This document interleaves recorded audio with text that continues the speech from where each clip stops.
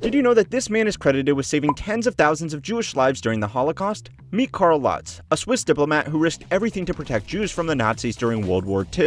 In 1944, Lutz was appointed as Swiss vice consul to Budapest, Hungary, where he witnessed firsthand the horrors of the Holocaust. He worked tirelessly to issue thousands of protective letters and passports, which allowed Jews to flee the country and escape persecution. In addition, he established over 70 safe houses and provided food and medical care to those in hiding. Despite constant danger and threats from the Nazis, Lutz continued to work tirelessly to save lives until the end of the war. His efforts were instrumental in rescuing tens of of thousands of Jews, and his bravery and heroism have earned him a place in history as one of the greatest humanitarians of the 20th century.